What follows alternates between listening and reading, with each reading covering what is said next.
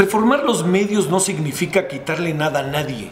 Significa que los medios se conviertan en parte de esta sociedad mexicana auténticamente, que formen parte de la competencia, que formen parte de la libertad y sobre todo que formen parte de la democratización del país.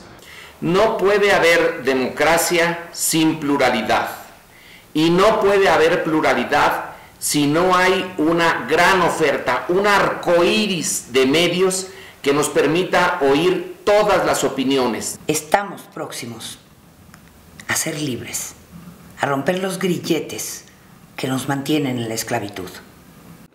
Para mí es, eh, es un genocidio cultural ¿no? lo que estamos viviendo.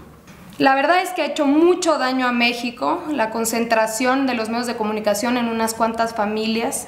Eh, no han permitido una libre competencia, han impuesto modas, han impuesto estereotipos y sin duda han, han impuesto presidentes. Si la reforma para impedir que continúen los monopolios, tanto en la comunicación como en cualquier otro lado, no se da, México estaría perdiendo más tiempo histórico del que ya perdió.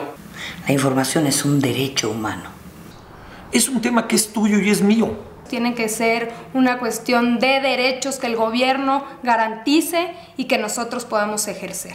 La nueva reforma nos garantiza el derecho a la información. Va a ser una reforma que verdaderamente va a revolucionar eh, la mm, libertad de expresión en México va a revolucionar lo que se hace, lo que se dice en el país. Hoy, más que nunca, las nuevas tecnologías nos permiten tener acceso a información de toda naturaleza, a opiniones diversas. Este país necesita ser contado por muchas voces y no por solamente por una voz monótona y autoritaria.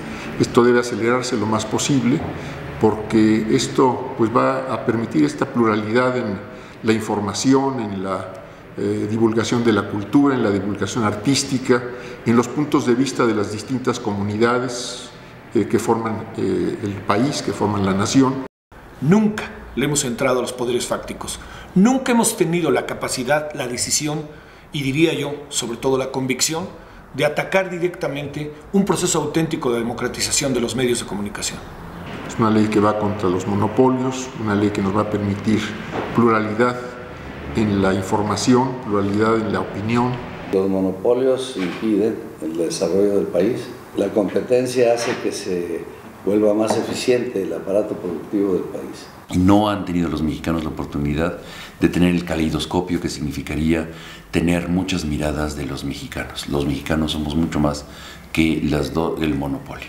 Una televisión eh, decente, una televisión que hable de lo que somos, una televisión que nos ayude a conocernos, a vernos ahí reflejados, una televisión que sea plural. Tenemos que partir de una afirmación y es que los medios de comunicación como es la radio, la televisión, eh, la telefonía son bienes públicos, es decir, tuyos, míos, del pueblo, de la nación. Que el, espectro radioeléctrico, lo que está encima de nuestras cabezas, es, nuestro, es nuestro patrimonio. Y que si vamos a dar algunas concesiones, pues tenemos que ser retribuidos también, tenemos que ser beneficiados. ¿Qué nos va a beneficiar? Pues a que tengamos mejores servicios. Finalmente lo que estamos hablando es un beneficio para la gente, para que la brecha digital se cierre. Y esto va a ser muy importante para que el ciudadano común y corriente tenga informaciones y puntos de vista múltiples. Significa una apertura para los mexicanos, significa que van a bajar sustancialmente los costos de las telecomunicaciones, de los teléfonos celulares, de los teléfonos fijos, etc. Es realmente el detonador que va a darle la democracia, consolidar la democracia en México, el desarrollo económico, social y político que tanto venimos los ciudadanos luchando. La nueva reforma es tanto como la caída del muro de Berlín. Hoy vamos a impulsar la verdadera competencia. Va a transformar el país de una manera mucho más profunda de lo que puede transformar los proyectos de desarrollo eh, que vienen importados desde fuera. Que no se va a limitar nada más a los medios informativos. Con esta reforma de medios tenemos la oportunidad en nuestras manos de realmente hacer un cambio por México. La reforma en materia de telecomunicaciones debe de ser un antes y después en la historia de los medios, de las telecomunicaciones del país. Es por ello indispensable que como sociedad hoy clamemos y gritemos y defendamos esta reforma. ¿Es ahora o nunca? Yo creo que esto va a cambiar radicalmente la visión y los rostros de muchas y muchos mexicanos. Apoyar esta reforma significa cambiar el rumbo de México. Es algo imperioso, es algo necesario, es una forma de vida. Creo que es muy importante que todos los ciudadanos estemos muy pendientes de esto para exigir, exigirle a los diputados y a los senadores que, que esta ley avance. Tienen un compromiso, deben de responder con seriedad frente a esta oportunidad de cambiar la mirada, el ver de los mexicanos y las mexicanas. Es, es, un principio básico y ético, ¿no? Yo creo que es una deuda pendiente para todos los mexicanos. Yo creo que es algo que tienen en sus manos los diputados y, los y las diputadas eh, la, la gran oportunidad de dar un salto cualitativo en el mundo de la cultura en este país.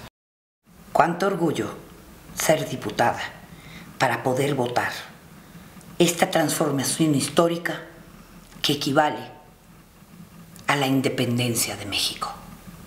El Congreso tiene que pensar en la sociedad mexicana, porque es probable que por primera vez en mucho tiempo tengan una decisión en sus manos que afecte directamente a la sociedad mexicana, que afecte a las y los mexicanos. La reforma en telecomunicaciones es una promesa, una esperanza, un motivo para pensar que algo puede cambiar. Lo que sueño es que, que nos ayude a reforzar nuestra cultura, nuestra identidad, que nos ayude a conocernos. Un por fin. Tolerancia. Significa una apertura para los mexicanos. Pluralidad. Es desarrollo. Una oportunidad. Democratización. Superación del atraso. Convergencia. ¿Es una deuda? A ser libres. Participación.